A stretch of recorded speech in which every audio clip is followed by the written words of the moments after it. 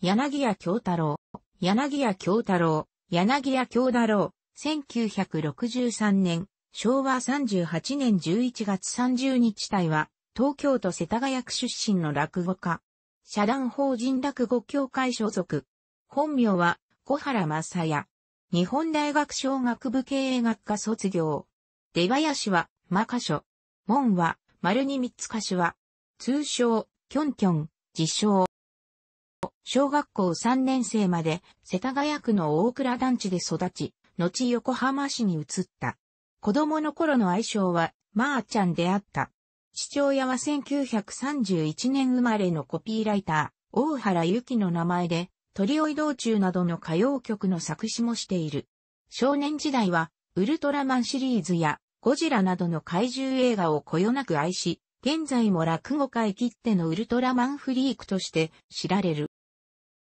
落語を好きになったのは中学時代からであった。横浜市港北区の日本大学高等学校から子供時代に住んでいた団地近くの日本大学小学部経営学科へと進学、継承法山学部の落語研究会、日本大学行商法落語研究会に入って、絹武田落を名乗った。高校時代から大学では、落ち県に入ろうと心に決めていたが、当時、自分から落ち県の門を叩く人間は少なかったため、先輩からは大いに驚かれたという。日大落ち県では度胸をつけるために、ストリート落語をしたり、失恋して最も傷ついた相手の女性の名を叫ぶなどの荒修行を行った。落語漬けの毎日で、老人ホームの芋煮や成人式の催しで落語を演じ、そのため自分の成人式には出なかったと、いことさえあった。4年生の時には、関東大学対抗落語選手権で優勝した。また、大学在学中に、本名で、フジテレビ、金ドン。良い子悪い子普通の子を負けの子に、悪い下宿人として出演している。テレビ出演もしていたため、周囲の誰もがそのままプロになると思っていたが、日大卒業後は大手書店、福科書店に入社した。京太郎は自身を振り返り、落語で食べていこうとは思わなかった。怖かったんです。好きだっただけに、威風の念があった。それに僕は、普通の人生が送りたかったんですと述べている。書店員としての生活は、もともと本が好きだっただけに充実していたものの、落語への情熱は冷めやらず、ついに落語家になることを決意して約1年半で退職した。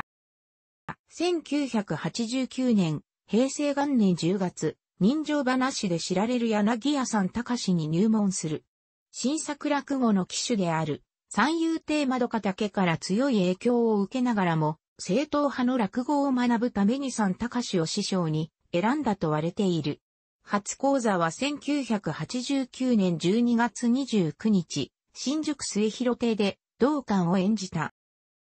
京太郎は夜の慣用句や、本当のこと言うと、午後の保健室などをはじめとする、数々の新作落語で知られるが、師匠譲りの古典落語も、巧みに演じる。現在では、人気落語家の一人に数えられる存在であるが、売れるまでには、様々な仕事を経験しており、キャバレー勤めやアダルトアニメの声優もしたことがあるという。1998年、平成10年、NHK 新人演芸大賞の落語部門で、新作落語、午後の保健室を演じ大賞を受賞し、一躍名を知られることとなった。2000年、平成12年3月に、林家太平と共に12人抜きで新内に昇進した。同年5月には、日本テレビ系、商店に出演している。2003年、平成15年、春風亭昇太らと共に、諏訪創作上げアソシエーションを旗揚げした。諏訪での背番号は6。2009年、平成21年発行の今面白い落語家ベスト50文春ムックでは第1位に選出された。2013年、平成25年6月5日、東京お台場のライブハウスゼパディバーシティで開催された初の落語会に、桃月庵白酒、柳家33と共に出演、蕎麦、清九を演じた。落語に関する著作もあり、そこでは自らの落語観も語っている。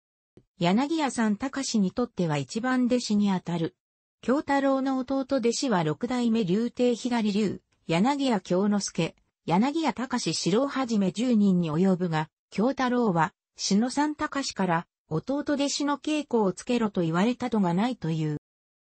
京太郎自身は弟子を取っていない。師匠の三隆とはしばしば二人会を開いている。三隆に弟子入りした当初、師匠に嫌いなものはあるかい？と聞かれた京太郎が納豆がダメですと答えたところ、翌日、よし、昼飯に買いに行こうと言われたという。三隆曰く、これから話し家としてやっていくなら、お客様や先輩方とのお付き合いもある。そんな時に、あれ食えない、これ食えないじゃ、話にならないよ。また同じ頃、三隆は京太郎に、ゼロからのスタートじゃない。マイナスからだよ、お前はと言ったという。大相撲では、学生時代の実績があると、幕下付けでというプラス1からスタートするが、落語では、事情が異なり、生地大学の落語研究会でやっていたことは、赤のようなものであって、真摯に落語修行していく上では、落とさなければならないものであった。京太郎がさん隆を尊敬していることは、並大抵ではなく、50歳を迎えた京太郎は、自分が入門した頃のさん、隆の年齢を超えていることを踏まえ、それを考えると、ダメだな俺、まだこんなんじゃという結論にしかならないと述べている。2013年現在、雑誌、週刊、文春の川柳投稿コーナー、川柳のらりくらりの選者を務めている。関東学院大学の非常勤講師でもある。活動内容は、本業の落語家のほか、東京 FM の番組、柳家京太郎のピロートークのパーソナリティやテレビ、東京のアニメーション、それいけ、ずっこけ三人組のナレーション、俳優、声優、柳家京太郎のようこそ迎賓館の司会など、多様である。東京ホテトル温度を作詞、作曲し、自ら歌っている。体格は身長175センチメートル、体重85キログラム、2013年現在。血液型は B 型。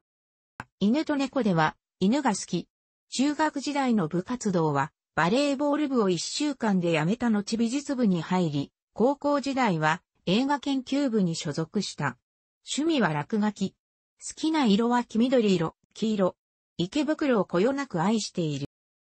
2016年公開の映画、スプリング、ハズ、カムで映画初主演。2018年放映の NHK ドラマ、昭和元禄落語新中の落語監修を担当。